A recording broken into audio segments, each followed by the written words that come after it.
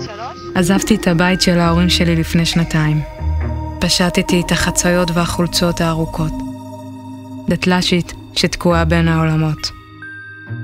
צמודה לגדר המפרידה בין השטחים לבין ישראל.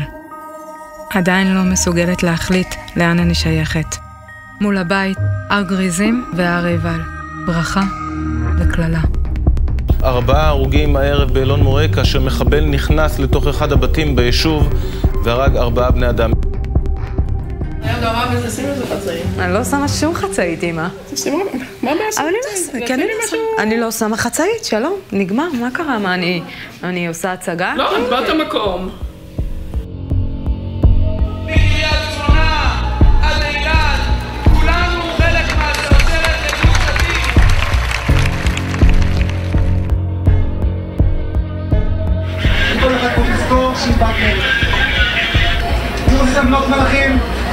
עם ראש מורם.